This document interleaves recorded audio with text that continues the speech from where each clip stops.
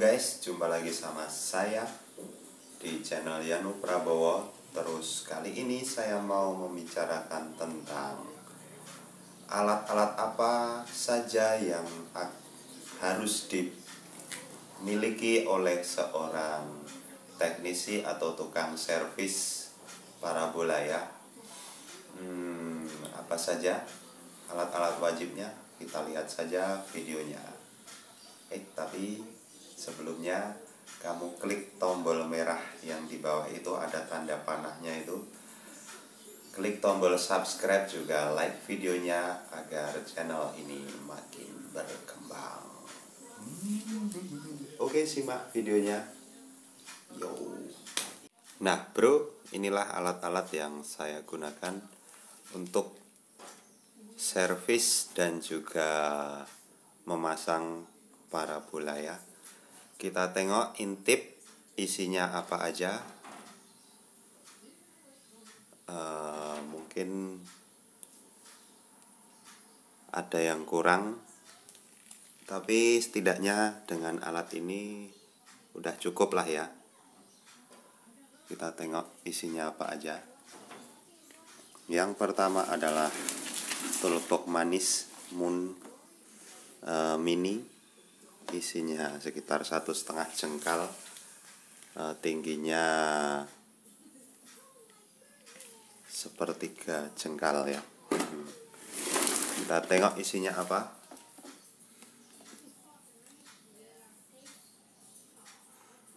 Nah ini di sini ada baut-baut juga konektor ya terus kita buka isinya. Ya super komplit sekali. Ada tang ini. Ini yang harus kamu punya gunting kabel. Terus obeng ini terlalu mini. Terus kunci-kunci. Kuncinya adalah kunci wajib kita adalah kunci 10 kunci 12 kalau bisa punya sepasang-sepasang ya. Ini kunci 10 lagi. Ini kunci 12 lagi.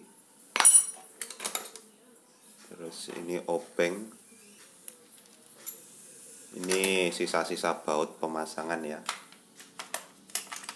Ini saya kunci 8 kunci 8 juga punya saya. Ini enggak begitu penting untuk muter di nabol biasanya. Bawahnya ada tang. Tang terus ini water pass lurus meter untuk uh, menyeimbangkan tiang. Ini tang.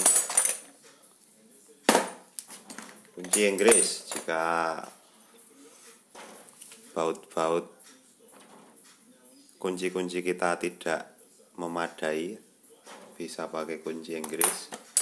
Ini tadi kepala obengnya ya. Nah ini yang bawah-bawah ini biasanya untuk para bola besar. Ini ada kunci 13 nah, ini kadang-kadang dinabol bawaan dari uh, para bola mini itu pakai kunci 13 jadi saya beli kunci 13 Terus kunci 17. Nah, ini untuk biasanya 17 itu di mounting parabola Venus 7 feet ya. Itu paket kunci 17. Terus kadang-kadang juga yang 6 feet pakai 14 itu untuk mountingnya. Yang 14 ini juga dipakai untuk uh, ngencengin apa itu namanya bracket akuator ya aktuator ini 14 lagi. Dan yang jelas kamu harus punya kunci wajib kunci 19 17 dan 19 ini kunci wajib untuk para bola gede ya. Nah kuncinya udah habis. ya kunci apa ini? 12 ini 17 lagi pasangannya yang tadi ya. Nah itu untuk kunci-kuncinya. Oke? Kita lihat ada apa di sebelah sana. Nah di kotak yang ini ada apanya ya? Hmm, kita tengok saja kita geser ke sini dulu. Kita geser ke sini. Kita angkat ini. Op. Iya. Kita akan buka ini. Nah. Kita beleti untuk ngikat-ngikat saya harus punya palu. Palu alat wajib. Juga bor. Bor. Bornya ini kurang bagus untuk saya. Kalau bisa punya dua ya yang model kayak gini. Yang model gini sama yang model drill itu. Tapi saya belum punya karena harganya jutaan rupiah. Ini isinya konektor tambah-tambahan juga alat tracking ya. Ini saya punya skybox SF500 ini untuk tracking. Nah, di kotak ini isinya cuma ini aja. Terus kita lihat tasnya isinya apa aja.